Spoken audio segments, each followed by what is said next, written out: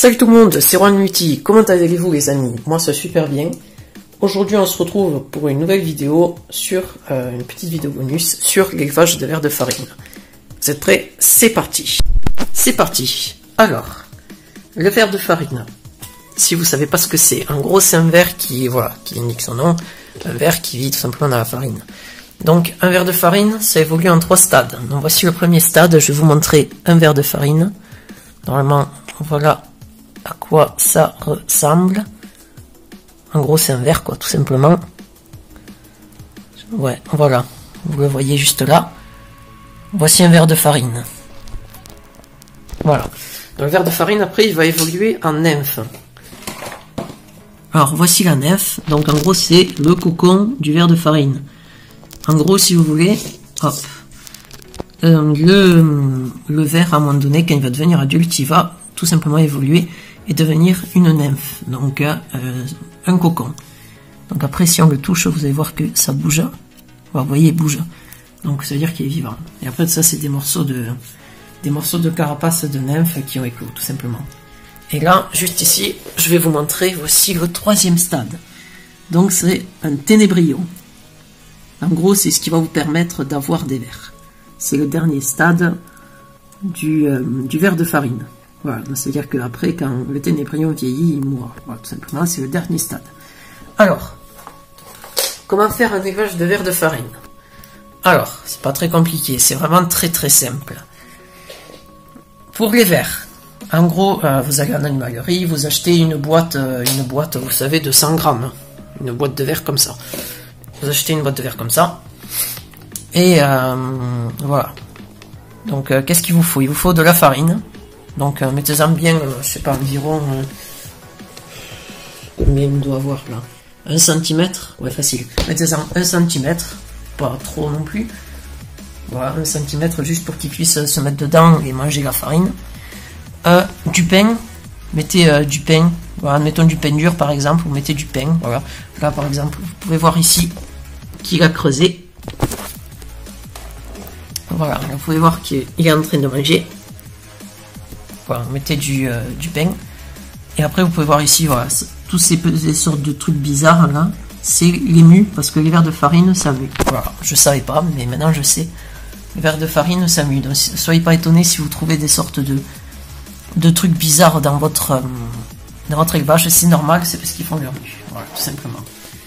Euh, donc ça c'était pour les verres, rien de bien compliqué. Après en boîte, vous prenez une boîte un peu comme ça, pas plutôt grande, mais pas très haute. Hein. Voilà, ça sert à rien parce que voilà, c'est ça peut pas, ça vole pas et puis voilà, ça, ça monte pas. Et euh, quand vous achetez la boîte, regardez bien ici, là, dans les angles, là, là, là, là, regardez bien si c'est bien lisse. Faut pas que ce soit visqueux ou euh, rugueux, sinon les verres pourront escalader et du coup s'échapper. Moi, de toute façon, au cas où j'ai un couvercle, je le mets par-dessus, et puis voilà. Donc ça, c'était pour les verres. Alors maintenant, les ténébrions, bah, c'est à peu près pareil, c'est pas très compliqué. Du nébrion, il faut mettre de la farine. Cette fois-ci, vous allez mettre un peu plus de farine. 2 cm. Je vais vous expliquer pourquoi. Juste après.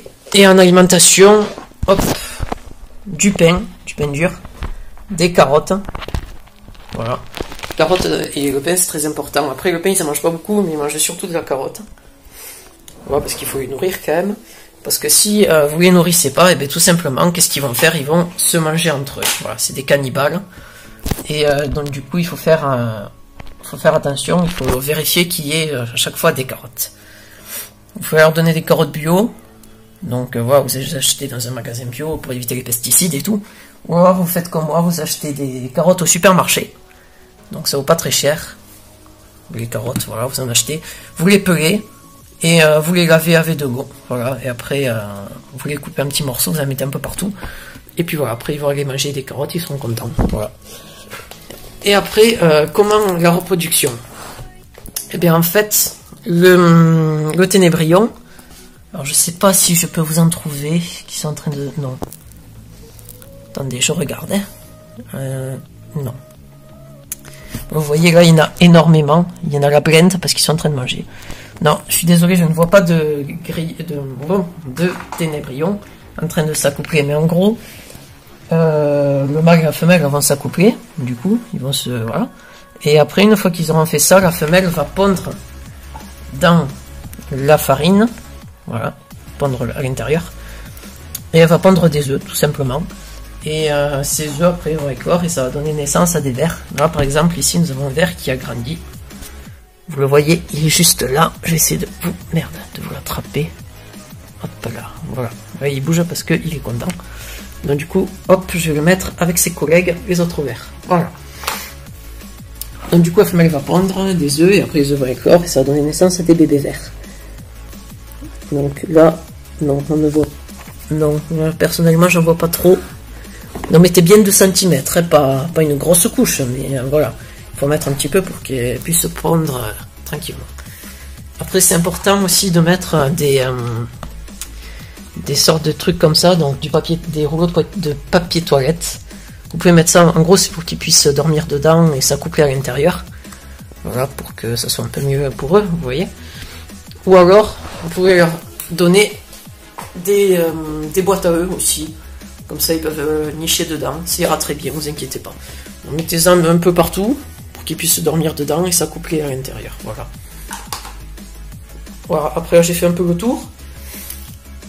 Ah oui, tous les mois, du coup, euh, ils vont pondre et tout. Euh, si vous voulez faire comme moi, vous n'êtes pas, vous pas obligé. Hein. C'est juste, moi je le fais parce que j'ai envie d'avoir plus de verre que. Voilà. Vous n'êtes pas obligé d'avoir deux boîtes, vous n'êtes pas obligé de séparer, vous pouvez mettre tout ensemble, mais vous allez avoir des pertes. Voilà, vous allez avoir des, des verres, il hein, n'y a pas de problème, mais vous allez avoir des pertes. Moi, du coup, euh, c'est pour ça que tous les mois, je prends mon tamis.